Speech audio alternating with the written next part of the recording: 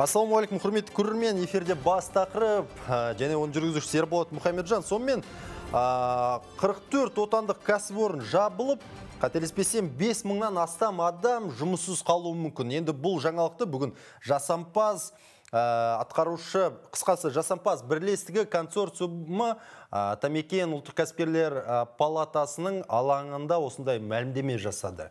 Енді ойлаңыздар бір адамның жұмыссыз қалуының өзі біраз проблема негізі. Бірақ 5 мыңнан астам адам жұмыссыз қалуы мүмкін деген ақпарат шығуы бұл біраз соққы. Енді кеше ғана жолдауда да президент бірнеше мәселелерді айтты өнеркәсіпке байланысты. Енді бұл қандай отандық кәсіпорындар? Неме айналысады бұл 44 отандық кәсіпорын? Неге бұлар консорциум болып ә, біріккен? Не себепті? Қысқасы осы мәселелерді талқылау үшін бүгін жасампаз атқарушы кеңес бірлестігінің мүшесі және казпласт жауапкершілігі шектеулі серіктестігінің директоры жұмабаева дана ханым келіп отыр. Сонымен қатар жасампаз бірлестігінің мүшесі адвокат иә қателеспесем әбдірайымов азамат мырза. Қош келдіңіздер. Абдрасилов. әбдірасилов Аз- әбдірасилов азамат әбдірасилов мырза. Қош келдіңіздер. Енді бірінші кезекте сонымен ә, бұл қандай 44 отандық компания? Соны сәл ашып өтіп кетсек иә соны айта кетсеңіз. Ә, кеш жарық құрметті көрермен. Біз ә, бүгінгі айтайын деп отқанымыз ә, консорциум жасамбас ол бірлестік. Бір ә, бірнеше өзінің ә, біз как ә, жауапкершілігі шектеулі серіктестігі компаниялар әрқайсысы өзі 44 компания бар ішінде? 44 компания. Оның ішінде әрқайсысы олар жеңіл өнеркәсібіндегі өз құрамды товар өндірушілер. Нарықта қанша жыл болды жұмыс істеп келе жатқандарына? Әр компанияның мысалы орташа айтқан әр компанияның өзінің ә, тәжірибесі бар өзінің ә, қай жылы шыққаны мәліметтілігі шамамен шамамен мысалы. Мен өзімнің Он- он жылдан астам бар ма нарықта істеп келе жатқандарына? өзімнің компаниямды айтсам маған біздің компания казпластқа 10 жыл болды. 10 жыл болды. 10 жыл компания өзі ә, жұмыс істеп келе жатып осы жасампаз консорциумы құрылғалы екі жыл болды ғой бізде. Сол екі жылда біз айтамыз осы біздің біріккеніміздің арқасында үлкен жобаны біз осы қорғаныс министрлігінің тапсырысын аламыз деп біздің өнім 70 пайызға өсті. Ол, ол деген нені білдіреді? Сіздер тек осы күнге дейін тек қана мемлекеттік тапсырыспен жұмыс істеп келе жатырсыздар ма әлде қалай? Мысалға біздің казпласт ö, компаниясы біз түйме шығарамыз. Түймеден ә, бөлек жаңа кішкене там қысқыш дейді басқа ә, жеңіл өнеркәсібіне киімге арналған фурнитуралар дейміз ғой. Соны бәрін шығарамыз. Енді ә, біздің өнімдерді бұрынғы тапсырыстарда тек қана тігін фабрикалар алады ғой. Киім шығаратын фабрикалар. енді ә, біздің қазіргі мынау ә, қорғаныс министрлігінің тапсырысы ол ә, бұрында тендер арқылы тігін фабрикалар алатын.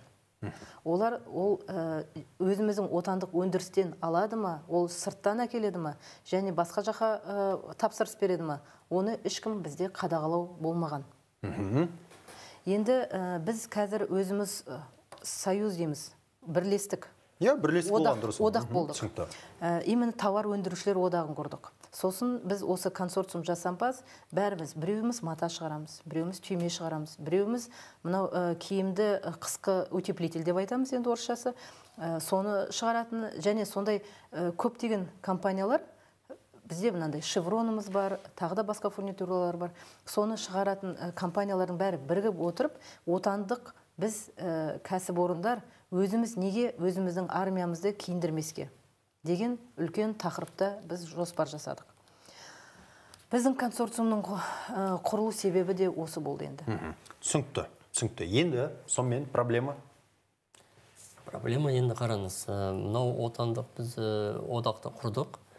Ең басты мақсат ол екі жыл болды дедіңіздер ма құрылғанда екі жыл болды. иә. біз бес жыл Ең басты мақсат ол жеңіл өнеркәсіптік жаңғырту. жарайды ол түсінікті Иә, ең бастысы сол. Себебі өйткені ә, осы арасында жүрген делдалдар бұрынғы ә, товарды сатып алушыларды жеткізіп беретіндер.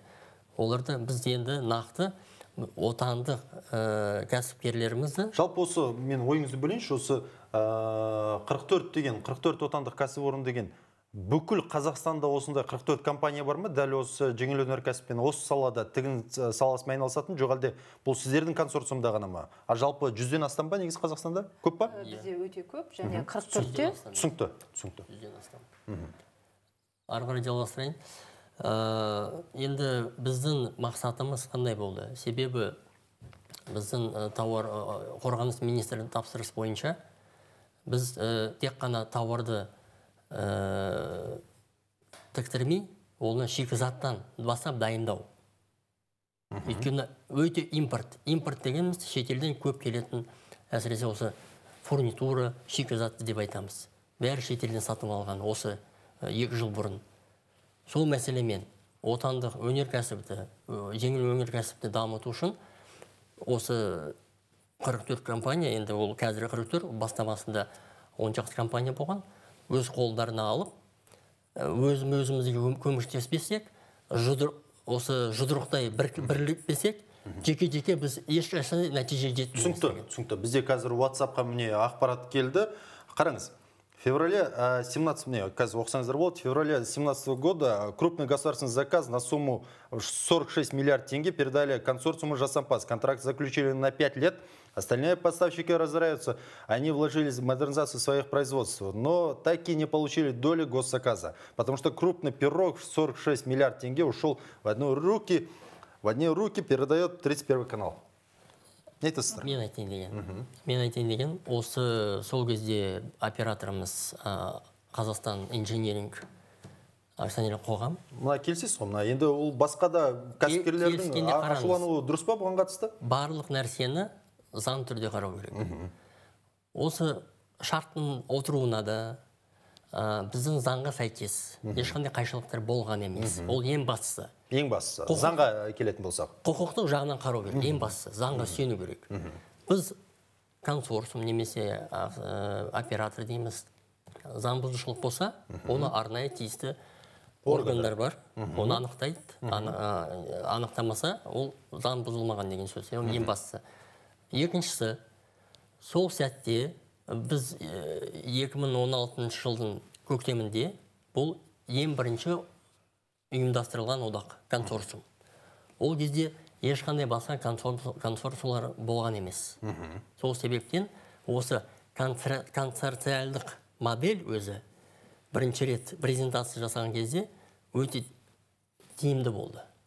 Себебі мемлекеттік орган жан шашыл- шашылмай мысалы алпыс шақты контрактқа отырмайды ең бастысы. Бір консорциум толық шикізаттан бастап дайын өнімге дейін қамтамасыз етіп береді. Ол бір. Екіншіден консорциум тек қана осы тауарды өңдеу ғана емес. Біз ә, заңнамалардың жобасында талқылауға қатысамыз. Ұлттық стандарттар бар киім жөнінде оларға қатысамыз. Ұлттық осы бізде ә, жеңіл өнеркәсіп одағы бар. Олардың жоба бойынша осы 55 шақты стандарттар бекітіп шығарған. Олар әлі шикі. Сол әлі күнге дейін біз консорциумге ктрмнен тапсырыс берілген. Соны соған өзгерістерді дайындап беру. Енді қазақстан инжинирингтікі дұрыс емес деп отырсыз иә? Дұрыс па былай Иә, тыңдағанда? дұрыс емес. заңсыз деп отырсыздар иә? Иә. енді мен сіздерге қазір берсеңіздер эфирге қазақстан инжинирингтің ә, пресс бөлімі бізге whatsappқа да жіберді және жекеде хат ретінде жіберді ә, пресс службасы міне қараңыздар оқыса тыңдасаңыздар болады. Компания жасампаз консорциумына қазақстан республикасы ұлттық экономика министрлігінің табиғи монополияларды реттеу бәсекелестікті және тұтынушылардың құқықтарын қорғау комитетінен келіп түскен монополияға қарсы заңнаманы бұзу белгілері бар және шартты бұзу бойынша шаралар қабылдауға міндеттейтін актінің негізінде ұзақ мерзімді шартты бұзу туралы хабарлама жолдады. Не айтасыздар? Біз ол туралы естідік біз оны кеш алдық. Ол ондай ол хабарлама ақпаратты кеш алдыңыздар. Ақпаратты кеш алдық. Сіздерге сонда ақпаратты кеш берді ма? Негізі бірден беру керек қой иә бұл ақпаратты. негізі ол иә әри- әрине ол казинжинирингке түскен. Сіздер қандай шығынға ұшырайын деп отырсыздар? Енді уже тапсырма тапсырысты орындап қойдыңыздар дұрыс па? Тапсырысты ол бір жылдық бітірдік. Біздіңке бірақ бес жылдық контракт қой. Келісімшарт бес жылдық. Біз әр жылы өзіміздің инвест программамыз бар дұрыс өзіміздің дұрыс ол әрбір компанияның болуы міндетті. иә. Мен сөзіңізді өзіңізді ең басты мақсат осы шартқа 5 жылды шартқа отырған кезде ең бастысы талап болған. Қандай талап? Талап ол инвестиция- инвестициялық бағдарлама болу керек. Өз кәсіпорындарды жаңғырту және осы жергілікті отандық ә, шикізат инвестициялық бағдарламаларыңыз болды. Болды. Сол бойынша біз енді не үшін шыңғыр жан, жан айқайымызды дұрыс енді отырмыз? жан айқай болған дұрыс. Иә. Иә. сосын? Сосын осы сол айтып тұрған ары қарай біз ә, кеш алдыңыздар қысқасы? иә кеш алдық. Бірақ біз ә, атамекен ә, ұлттық э, Кәсіпкерлер палатасына жоқ біз солардың площадкасында біз кездесіп біз қазір солармен келістіңіздер кіммен кездестіңіздер қазақстан инжиниринг или министрлікпен ба? Бір, бірінші казинженерингпен кездестік. Сосын ә, дүйсенбі күні ол сегізінші ә, Сегізінші сегізі қаңтарда. қаңтар күні біз бәріміз ә, жаңағы біздің антимонополия комитетінде біз олармен де кездестік. Ол жерде казинжинирингтің мүшесі болды атамекен болды және де біз кәсіпкерлер болдық мүшелері. талқылап бердік. Біз бәрін талқыладық оларға түсіндірдік және олардың ә, толық Түсінді ақпаратты казинжинирингтен алмағандығын олар біліп себебі олардың кім кім ә, министрлік па кім? Антимонопольный ка- сол кезде сегізінші қаңтар күні оларда болды ма? Олар Иә. ә, солардың солардың солардың кеңсесінде болған солардың кеңсесінде болып біз олардың жаңа ә, ао казинжинирингтің толық ақпаратты бермегендік себебінен олар мәліметі түгел еместігін анықтаттырдық біз оларға. Себебі ә, Он сонда қандай жалған ақпарат берген? Маған айта аласыз ба пример мысалы? Ә, ол жерде ә, былай біздің ә, бұрында сіздерді қаншалықты олар а, монополист компания деп айтып отыр? Жоқ монополист Неге компания сүйен? болғанда Біз былай ғой. монополистке жатпаймыз. біз монополистке жатпаймыз. Жатпайсыздар. Себебі айтайын монополист дегеніміз мынау қазақстан инжиниринг жалғыз компания емес оператор Ә, осы қорғаныс министрлікке тапсырыс беретін. Ол жерде жеке мвд бар кмб бар ұлттық гвардия деген бар. Ә, сіздер тек қана қазақстан инжинирингтің ғана несін алып отырсыздар иә дұрыс па? Иә, дұрыс иә. Ә, казинжинирингтің болғанда ә, именно қорғаныс министрлігінің тапсырысын алып отырмыз біз. тағы да ең бастысы айтайын дегенім осы қазіргі жіберілген хабарлама ватсапқа антимономалияға қарсы ә, бұл антимонополия берген жоқ бұны маған қазақстан инжиниринг енді берді. антимонополиялық анау агенттігі осындай хабарлама жібергені туралы. Ол себебі сол сегізінші қаңтарда сол тағы да хат жіберілген сол хабарламаны күші жойылсын деген. Ол ә, қазақстан инжинирингке тоғызы күні келіп түседі. Иә келіп түскен. Мгм. енді? Сол енді сонымен қандай қателік болып отыр олар сегізі күні ә, бізбен сол ә, жаңағы антимонопольный комитетте кездесіп отырып олар бізге ә, жаңағы ә, хабарлама жібереді ғой. Что біз сендермен договорды Бұзамыз. ә, бұзамыз деген. деген. бірақ олар қалай кездесіп отырып солай уже ә, параллельно сондай енді хабар комитет не дейді сонда? Комитет не шешіп отыр енді? Енді ары қарай енді олардың өзінің хабарламаларын енді қайтарып алу керек қой. Олар қайтарып алды қайтарып алды. олар қайтарып алды. Енді Толық қараңыз қазақстан инжиниринг. Сонда осыны көріп тұрып міне сегізден бері жарайды айтайық тоғызы күні алды мысалы. Енді әрекет қолдануға болады ғой. Мысалы иә дұрыс екен біз ә, өзіміздің мысалы қазақстан инжиниринг өзінің хабарламасын кері қайтарып алу керек түсінікті азамат мырза дана ханым енді қараңызшы менде енді енді логикалық сұрақ туындай бастайды да бүйтіп ойланып отырып. Енді не талап етіп отыр сонда қазақстан инжиниринг не қалап отыр? Біз соны өзіміз сұрағымыз келеді. Олар не сұрадыңыздар ма? Жоқ біз соларға сұрап жатырмыз. Біз қанша хаттама жауап жазып берді? Не деп жауап берді жатырмыз? сізге? олар бізбен тікелей жауап жауап бермейді. А палата сұрады ма олардан? Біз бәріміз бірге сұрап иә отырмыз сол кезде не дейді? Не дейді енді? Хотя бы бір сөздер айтады ғой. «Э, бізге ұнамай қалды түрлері ұнамай қалды бұл компанияның. Не бір жыл тапсырыс берді да киімдері ұнамай қалды. Сегізі күні біз бірге отырған Иә. кезде олар антимонопольный комитеттің хатына сүйенді енді олар жауап олардан алып біз олар ә, қайтарып алдық. Бізге ә, толық мәлімет сіздер бермеген екенсіздер деген хатына біліп тұрса да бізге ә, ештеңке айтпай сіздермен олар келісімшартты ондайға құқылы ма олай істеуге? Но құқысы жоқ несі бойынша. формальдық құқығы жоқ. Себебі контракт. Өйткені біз шарт бар. екі жылдық шарттарды көрсетілген міндеттерімізді орындадық. Әрине ол жерде қалай дейді бәрі өте жүз пайыз күйінде өтті деп айтуға бо- болмайды. Бірақ соның өзінде олардың э, ең бастысы осы қорғаныс министрлігі және акционерлік қоғам қазақстан инжиниринг бұларда әбден ең басында осы ұйым болмай тұрған кезде үйреніп алған. Дайын шикізатты шетелден алып келіп тек қана оларды ә, енді ба- басты тапсырышы ғой мемлекеттік тапсырыс берушіге жеткізіп беру. Бітті. Сол кезде мерзімі сол дайындау мерзімі мысалы өте аз болады. Мысалы бес ай төрт ай ма? Ал кешіріңіз шикізатты дайындаудың өзі кем дегенде екі ай уақыт кетеді. Енді қараңызшы енді біраз сәл әділеттікке қарайық енді біраз сәл әділеттікке қарайық мына басқа компаниялардың осылай жалпы а, жаңа айттым ғой отыз бірінші каналда шыққан ақпаратқа байланысты берген ақпаратқа байланысты. Басқа каналдардың осылай а, тек қана сіздердің ғана ұтып алуларыңыз мысалы консорциумның ұтып алуы олардың да осылай пікір білдіруі заңдылыққа сәйкес келе ма жалпы енді? Мен жауап берсем болады ма? Бұл жерде былай ә, біз консорциум еш біз бәріміз бірлестік товар өндірушілер. Біз ешкімге есікті жауып отқан жоқпыз.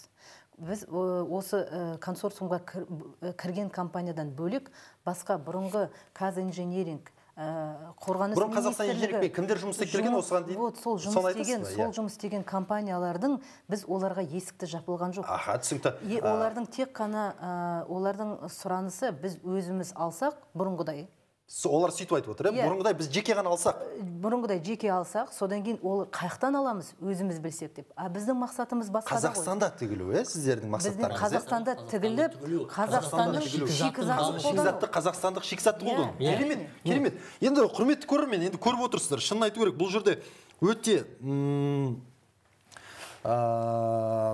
керемет енді. Қараңызшы мына жерде бір сұрақтар келіп жатыр. Бұл шартты бұзғанда қандай қауіп бар кәсіпорындарға? Енді қараңыз мынау ә, кәсіп- қандай қауіп бар? Жаңа енді біз енді міне тақырыпты да қойдық қой. Ә, 44 отандық кәсіпорын жабылып 5000 адам жұмыссыз қалуы мүмкін. Осындай үлкен қауіп бар ма? ең бастысы ә, әлеуметтік жағдай сәл қиында- қиында- қиында- қиындап кетеді. Неге? Себебі ашық айта беріңіз. ашық айта береміз әрине. Ол өйткені бес жылдық контракт қол қойылғандықтан ке- кем дегенде әр адам компания тұрмақ мысалы болашақта ол жоспарлайды. Бізде тура солай компаниялар жоспарладыңыздар үлкен бір міндеттер Иә, қойдыңыздар алдыға себебі дұрыс па? біз осы инвестициялық бағдарламала- бағдарламаларды жүзеге асыру үшін бізде де арнайы қаражаттар бөліп алып ал- алып жатырмыз оны біз несиелер банкілерден алып жатыр компаниялар. Ал оны енді осындай шартты бұзған бетте оны қай жерден қазір ә, компаниялар мысалы дайын ә, осы бір күнде тауып жауап бере алады. Және екіншіден ол осы банкротқа да ұшырауларыңыз мүмкін ғой. Әбден бұл бар жерде бұл бұндай жерде- риск бар ма? Қауіп бар бұл ма жерде бұндай? мынандай мәселе бар. Біздің ә, шымкентте ә, оңтүстік қазақстан облысында азала деген компания бар. Ол шикізат күйінде тек қана ресейге жіберіп отқан. Ресей оны өңдеп бізге қайсынан сатып отырған. Қайдан сондай сатып отырған, мәліметтер бар иә. Опа, бұл- енді ә, біз айтамыз неге біз соны осы ә, жаңа принт дейміз ғой. Өзіміздің әскери ә, принттеріміз бар солардың бәрін өңдеп біз қазір өзімізге мата шығарып жатырмыз. Одан бөлек осы азала компаниясы екі ә, үлкен ә, бізде ә, компаниялар болған. Нимекс және ә, окси текстиль деген. Олар кезінде ә, елбасы ашып осындай үлкен жаңғыртып өкіметтен несие алып олар жұмыс бастаған. Бірақ ол тапсырыстың жоқтығынан олар жабылған. Олар соларды қайсытан біз енді орысша айтқанда реанимировать етеді дейміз ғой. Қайсытан оларды алып сол қаржыны өкіметке қайтару мәселесінде үлкен жұмыс жасалынды. Ал енді солардан тағы да тағы да оның жұмысын тапсырысты алып қойса олар тағы кімге жұмыс жасалынады? Біз Мен, қайта тоқтап тұрған э, жұмыстарды қайсытан іске асырып мен осыдан біраз уақыт бұрын бір жыл бұрын қателеспесем мынадай бір ақпаратты көзім шалып қалды. Ол осы а, жеңіл өнеркәсіп оның ішінде осы тігін цехында жүрген бірнеше компаниялар жабылудың алдында тұр деген ақпаратты көзім шалды. Бұл сіздерге қатысы бар ма? Бұл мен айтатын едім. Егер біздің осы тапсырыстар қазақстанда 18 миллион халқымыз бар сол барлық тапсырыстар өзі- өзімізде болса біз не то что тек айта беріңіз Иә, біз тек қана он бес он компания жабылмайды біз 30 әлі тігін фабрикасы ашылатын мүмкіншілік бар. Керемет. Түсінікті енді менде мынадай сұрақ туады. А, қазір а, қорытынды сұраққа келем. Қараңыздар жалпы мемлекеттік тапсырыссыз бізде компаниялар өмір сүре ала ма? Инвесторлар тарта отырып шетел инвесторлар тарта отырып немесе отандық үлкен инвесторларды ірі инвесторларды. Сонымен қатар мына нарыққа бәсекелестік нарыққа осы мемлекетке қол жаймай сондай бір позицияны қалыптастыра аламыз ба? Бәрібір қалыптасып Қандай қиындық бар оған? мен, мен айтайын егер ә, Сіздер енді нарықты зерттеп жүрсіздер ғой. шетелден келетін ә, инвесторлардың өзі қарайды. Егер сен өз халқыңа тіге алмасаң сен қалай басқа жаққа тіккің келеді деген сұрақ тумай ма біріншіден? Өзіміздің ә, тапсырыстар неге біздің ә, өзіміздің ұлттық компаниялар бар? Айта беріңіз айта беріңіз ұлттық компания бар. Өзіміздің осы жаңағы ә, 18 миллион халқымызды мектеп ә, жаңағы ә, школьный форма дейміз. Олардың бәрі бізге шырт, сет- шырт, ә, сырттан келеді. Біз қазір осы күнге дейін ресейдің матасын алып келдік. Белоруссияның матасымен армиямызды киіндірдік. Қысқасы беларусияны ресейді байытып келдік былай айтқан Иә. кезде. Қарапайым сөзбен айта берейік оның барлығын. мына жақтан ә, хб ә, жаңағыдай ә, біздің жүндердің барлығы шашылып кетті оны түкті пайдаланбай кеттік былай айтқан кезде. жүндеріміздің барлығы іске жарамсыз болып қалды. Одан кейін біз айтамыз ауыл шаруашылығы дамымай жатыр қойлардың барлығының жүні далада қалып жатыр шашылып. енді қараңызшы менде қайтадан былай ә, логикалық сұрақ былай- келеді да. Қазақстан инжиниринг енді логикалық тұрғыда не қалап отыр? Яғни бұрынғы компаниямен қайтадан жұмыс істегісі келіп отыр. Ол бұрынғы компания жүнді шикізатты қайдан алатынын түсініксіз. Жарайды шикізатты осы жақтан алса да кімге? Шетелге тіктіретіні ресейге немесе қырғызстанға апарып тіктіреді ма? Қытайға апарып тіктіреді ма тағы да бұл күмәнді сұрақ болып қалады. Енді осы жерде бір заңды сұрақ туады. Бұл бір сыбайлас жемқорлықтың көрінісі емес па? Сіздерде бір күдік жоқ па осындай? Енді ондай күдіктер әрине болып жатады. Бірақ соның өзінде қалай? Яғни неге олар аяқ астында сіздер талапты дұрыс орындап отырсыздар тапсырысты керемет орындап отырсыздар? Ә, бұдан асқан қандай не бар? Жанашырлық жоқ. А? Жанашырлық жоқ. Жанашырлық жоқ? Отандық отандық товар өндіруші жоқ бұл, бұл ә, сәл жалаң сөз сияқты көрінеді маған. Бұл сәл жалаң сөз сияқты көрінеді. Мен- Ә, сәл басқаша келейікші реалды тұрғыда келейікші. Өйткені бізде жанашырлық патриотизм деген бла бла шынын айтайын мен реально с- ситуацияға келетін болсақ бұл бла бла. Реалды тұрғыда келейік кім нені қалап отыр сонда? Сіз ашық айтыңызшы. Ашық айтқанда ә, жеме жемге келгенде Иә. бір компаниямен тікелей олар сөйлессе олардың ортасында қандай ә, келісім шарт бар екенін ешкім айта алмайды. Дұрыс. Қай компанияны айта аласыз? Бұрынғы компания мен соларды да шақырғым келеді келесі жолы эфирге. Олар не қалайтынын естігім келеді. Мен ертең қазақстан инжинирингке де шығамын мысалы. Мен олардың не қалайтынын білгім келіп отыр. Біз ә, негізі қазақстан инжинирингтің не қалап отқанын өзіміз де білгіміз келеді. Егер біз олардың отандық өндірістен біз өзіміз шығарып береміз десек неге олар ә, біз бүк- осы қазақстандағы бүкіл тігін фабрикаларды біз білеміз. Олардан гөрі. Олардың штатында 10, 10 адам бар ма 15 адам бар ма олар бәрін біле Нарықты білмейді. нарықты білмейді әбден. түсінікті. Олар нарықты іздейді түсінікті түсінікті түсінікті. Тағы не айтасыздар қорытынды сөз. Айтайын деп тұрғаным мынау консорциум жасампастағы бүткіл 44 компания.